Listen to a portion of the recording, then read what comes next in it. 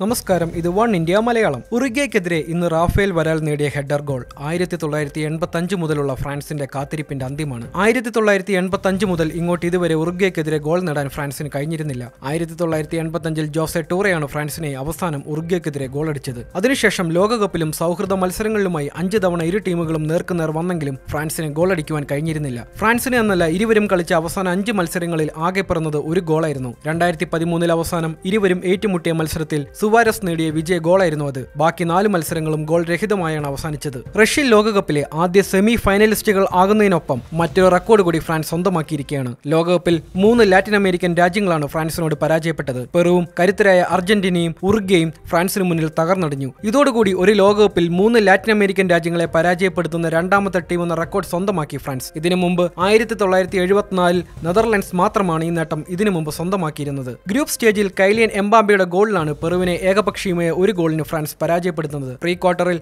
ഫ്രാൻസിന്റെ എതിരാളികൾ കരുത്തരായ അർജന്റീനയായിരുന്നു. മൂന്നിനെതിരെ നാല് ഗോളുകൾക്കാണ് മെസ്സിയെയും കൂട്ടരെയും റഷ്യൻ ലോകകപ്പിന് വെളിയിലേക്ക് ഫ്രാൻസ് തള്ളിയിട്ടത്. യുവതാരം എംബാംബയുടെ ഇരട്ട ഗോളുകൾ ആ മത്സരത്തിലും നിർണായകമായി. ഇന്ന് ആദ്യ ക്വാർട്ടർ ഫൈനൽ മത്സരത്തിൽ ഉറുഗ്വയെ എതിരില്ലാത്ത രണ്ട് ഗോളുകൾക്ക് തകർത്താണ് ഫ്രാൻസ് സെമി ഫൈനൽ ബർത്ത് ഉറപ്പിച്ചത്. ഫ്രാൻസ് സെമി ഫൈനലിലേക്ക് കടന്ന ഈ മത്സരത്തിൽ ഉറുഗ്വയ്ക്കെതിരെ ഫ്രാൻസിന്റെ വിജയമുറപ്പിച്ച ഗോൾ നേടിയിട്ടും ഫ്രഞ്ച് താരം ഗ്രീസ്മാൻ ആഹ്ലാദിക്കാത്തത് ആരാധകരിൽ കൗതുകമുണർത്തി. ക്ലബ്ബുകളിൽ കളിക്കുമ്പോൾ മുൻ ക്ലബ്ബുകൾക്കെതിരെ ഗോളടിച്ചാൽ കളിക്കാർ ആഹ്ലാദിക്കാതെ ഇരിക്കലുണ്ട്. അതുപോലെയാണ് ഇന്ന് ഗ്രീസ്മൻ ആഹ്ലാദം വേണ്ടെന്ന് വെച്ചതും. ഉറുഗ്വയോട് തനിക്കുള്ള സ്നേഹം ഗ്രീസ്മൻ പലതവണ വ്യക്തമാക്കിയതാണ്. അതിന്റെ ബാക്കി പത്രമായിരുന്നു ഇതും. ഉറുഗ്വയെ തന്റെ രണ്ടാം രാജ്യമെന്നാണ് ഗ്രീസ്മൻ മുമ്പ് വിശേഷിപ്പിച്ചിട്ടുള്ളത്. ഉറുഗ്വയ്ക്കെതിരെ കളിക്കൽ ഈ സ്നേഹം കാരണം വിഷമമാണെന്നും താരം പറഞ്ഞിരുന്നു. ഉറുഗ്വയിലെ സുഹൃത്തുക്കളാണ് രാജ്യത്തെ ഇങ്ങനെ സ്നേഹിക്കാൻ കാരണം എന്ന് ഗ്രീസ്മൻ പറഞ്ഞിരുന്നു. എന്തായാലും ഗ്രീസ്മന്റെ സ്നേഹം വെറും തമാശയല്ല എന്ന് ഇന്നത്തെ ഗ്രീസ്മൻ ഗോളടിച്ചതിനു ശേഷമുള്ള മൗനത്തോടെ വ്യക്തമാവുകയും ചെയ്തു. കൂടുതൽ ഫുട്ബോൾ വാർത്തകൾ അറിയാൻ വൺ ഇന്ത്യ മലയാളം സന്ദർശിക്കൂ. സബ്സ്ക്രൈബ് ചെയ്യൂ.